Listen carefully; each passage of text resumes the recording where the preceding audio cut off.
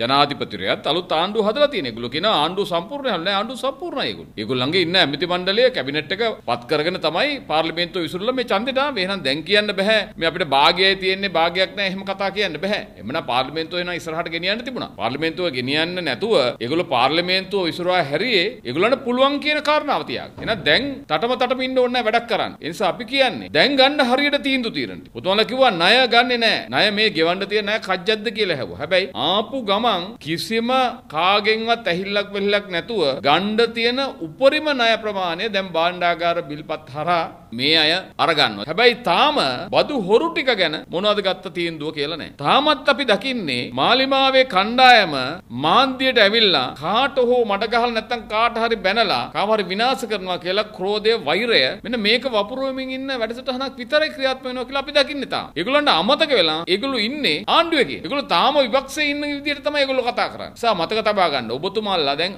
ආණ්ඩුවේ. ආණ්ඩුවේ ඉඳගෙන තව කාමත් විවේචනය කර කර ඉන්න දෙයක් නැහැ. ඔබතුමාලට විශේෂයෙන්ම පළවෙනි රාජකාරිය තමයි ආර්ථිකය ශක්තිමත් කරලා ජනතාවගේ බඩගින්න නැති කරලා ජනතාවගේ ව්‍යාපාර කඩම් වැටලා තියෙන තැනින් ඒගොල්ලන්ව නැගිට්ටවලා උඩට අරගෙන ඒ වගේම රට බංකොලොත් වෙලා තියෙන ඒ ක්‍රමවේදය සම්පූර්ණ වෙනස් කරලා ඒක උඩට අරගෙන ජාත්‍යන්තර මූල්‍ය අරමුදලත් එක්ක තිබිච්ච තිබිච්ච ආණ්ඩුවේ තිබිච්ච ගනුදෙනුව සම්බන්ධව ඒ තිබිච්ච ඒගොල්ලෝ එක්ක කැමති වෙච්ච එහෙම නැත්නම් ඒගොල්ලොත් එක්ක අස්සම් කරපු ගිවිසුම් අනුව යම් වැරද්දක් රටේ සිද්ධ වෙලා තියෙනවා ඒක නිවැරදි කරන වැඩපිළිවෙල. පුතුමල්ලා පුන පුනා වේදිකාවේ කියපු අන්න ඒ ටික කරන්න රට වෙනුවෙන්. අද බිත්තරේ ගැන කියන්න ගිහලා එනගත්තනේ ආණ්ඩුව බිත්තරේ ගාන ගැන කියන්න ගිහිල්ලා සම්පූර්ණයෙන්ම එනගත්තා ආණ්ඩුව බිත්තරේ මිල ගැන කියලා. ඒ නිසා අඩු ගානේ මේ ගැන පොඩි වැටහීමක් අරගන්න. අඩු ගානේ මේක අධ්‍යයනය කරන්න. මොකද්ද මේ ආර්ථිකය කියන්නේ